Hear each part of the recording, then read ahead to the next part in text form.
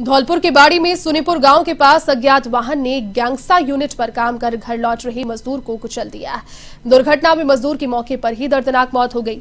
इस घटना की सूचना पाकर सदर पुलिस मौके पर पहुँची और शव को अस्पताल की मोर्चरी में रखवाया। फ़िलहाल पुलिस मामले की जाँच में जुटी है।